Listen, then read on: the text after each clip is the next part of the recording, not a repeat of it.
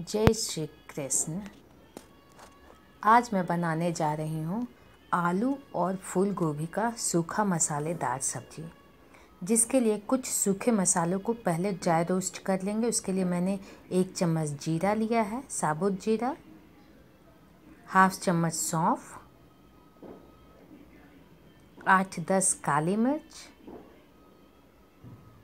और एक चम्मच ही धनिया, साबुत धनिया। कढ़ाई गर्म है, इसलिए ज़्यादा टाइम इसको लगेगा नहीं। स्लो पे बिल्कुल जब भी आप भूनें तो बिल्कुल मीडियम आँच पे भूनें। इससे क्या होता है ना अच्छे से भुनाता तो इसकी खुशबू अच्छा आता और जब इसको आप कूट के सब्ज़ी में डालेंगे तो बहुत ही अच्छा फ्लेवर आता है सब्ज़ी में। टेस्ट कहिए फ्लेवर कहिए, बहुत ही अच्छा आता है। तो ये भुना गया है। अब इसको निकाल लिए हैं। हल्का ठंडा होगा, तब इसको खल मुसल में या वो जो मार्बल का आता है ना, उसमें आप कूट लें दरदरा। अब सब्ज़ी के तड़का लगाने के लिए उसी कढ़ाई में मैंने एक बड़ा चम्मच सरसों का तेल लिया है। उसमें चौथाई चम्मच सरसों के दाने डाले। ये तड़कने लगा तो थोड़ा सा चौथाई चम्मच ही साबुत जीरा। जब ये दोनों अच्छे से तड़क जाएगा तो इसमें फूल गोभी डालूँगी, जो मैंने अच्छे से काट के इसको बॉइल्ड पानी में 10 मिनट के लिए नमक के साथ छोड़ दिया था।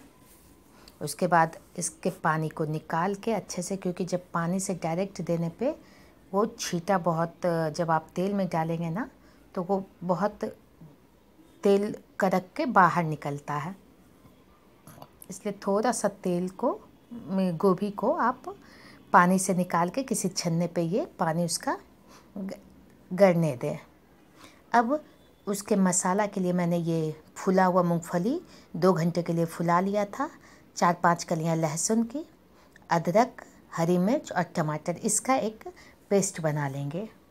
आप इसको मिक्सर में पीस लें, जब तक गोभी भुनाता है, गोभी भुन गया है थोड़ा मसाला भी मेरा तैयार हो गया है पीस लिए।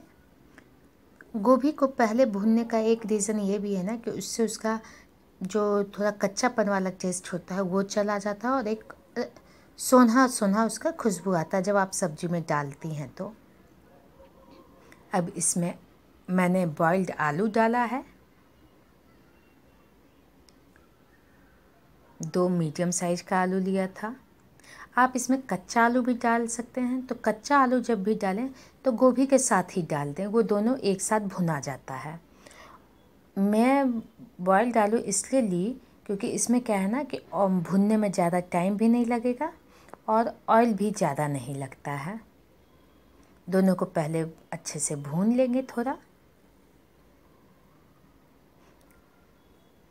गोभी भी एटी परसेंट कुक हो गया था, तब आलू डाले थे। मतलब दोनों मिला के आप एट्टी परसेंट हो गया। आलू को ज़्यादा मैंने भूंजा नहीं। अब उसी कढ़ाई में फिर हाफ़ चम्मच सरसों तेल ले करके और चुटकी भर इसमें तड़का लगाएँगे जीरा का।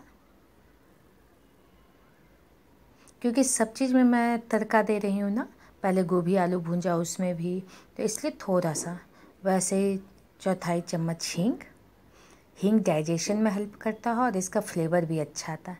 जो लोग प्याज लहसुन नहीं खाते, वो हींग दें तो उससे भी आपको प्याज लहसुन की कमी नहीं खलेगी। बहुत ही अच्छा टेस्ट भी आता है सब्ज़ी का। सब्ज़ी हो, दाल हो, और डाइजेशन में तो ये हेल्प करता ही है। अब प्याज मैंने चॉप्ड डाला, एक मीडियम साइज़ का।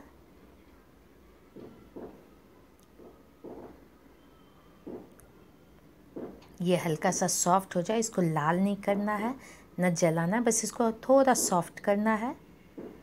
हो गया है। अब इसमें पिसा हुआ सारा मसाला डाल देते हैं, जो टमाटर, मूंगफली का मैंने पीस, यदि आपके पास काजू नहीं रहता या आप प्याज, लहसुन नहीं खाते तो आप मूंगफली का पेस्ट हमेशा सब्ज़ी में यूज़ करें। उससे सब्ज़ी बहुत ही क्रीमी और बहुत ही अच्छा टेस्ट आता है। और मूंगफली तो हर के घर में होता है। मेरी मैक्सिमम रेसिपी ऐसी होती है कि जो आपके पास है, मूंगफली जनरली क्या सबके घर में रहता ही है। और मगज, काजू ये सब हो सकता है कि कभी ना भी हो, लेकिन मूंगफली ऐसी चीज़ है कि हमेशा रहता है, इसलिए और इसका टेस्ट भी अच्छा आता है, आप इसका यूज़ करें। चौथाई चम्मच हल्दी। हल्का मसाला भुना, अब उसी के साथ चूँकि टमाटर का वो जो रस रहता है ना तो ये उसके साथ ये मसाला सारा भुन जाएगा बाकी। चौथाई चम्मच ही लाल मिर्च पाउडर लिया। मैंने टमाटर के साथ भी हरी मिर्च पीसा था, इसलिए लाल मिर्च कम लिए हैं। थोड़ा सा जीरा मरीच पाउडर। तीखा आप लोग अपने हिसाब से कम या ज़्यादा कर सकते हैं। और बिल्कुल ही स्लो पे मसाला को भूनना है। तब तक भूनना है जब तक कि ये मसाला ऑयल ना छोड़ने लगे या सब एक साथ भूनते हुए ही यदि आप कम तेल डालते हैं तो क्या होता है ना, कभी आपको लगेगा कि ये तेल तो नहीं छोड़ा लेकिन ये भुना के इसकी खुशबू भी अच्छी आने लगती है। और ये आपस में एक दूसरे से मिलके मतलब वो दो जैसा बनने लगता है। तो दोनों इसका पहचान है। नमक स्वादानुसार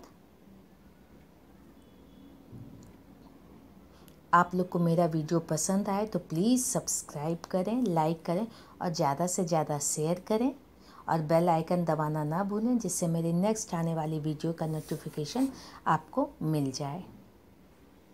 अब ढक के ढक के थोड़ा इसको भूनेंगे। यदि मसाला आपका नीचे चिपकने लगे कम तेल के कारण तो आप हल्का हल्का पानी का छीटा दे के इसको भूनें। बहुत ही अच्छी सब्ज़ी बनती है। तेल कम तेल, कम मसाले में और खाने में ये सूखी सब्ज़ी बहुत ही टेस्टी होती। है अब वो भुना हुआ मैंने आलू गोभी डाल दिया इसमें।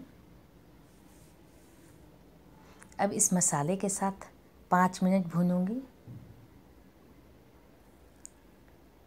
प्रिपरेशन से लेकर के बनाने तक में पंद्रह से बीस मिनट जाता है।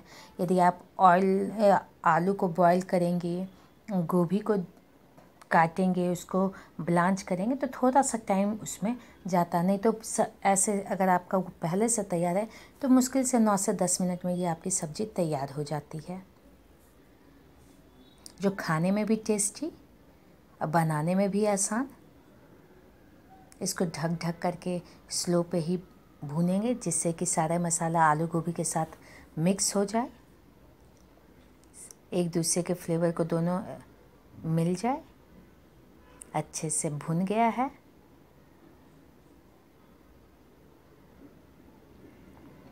अभी देखने में अच्छा लग रहा है। हाफ़ चम्मच मैंने शुद्ध घी डाला, थोड़ा सा धनिया पत्ती।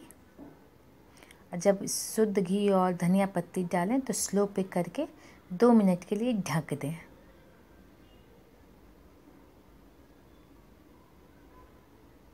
सबको अच्छे से मिक्स कर देते हैं।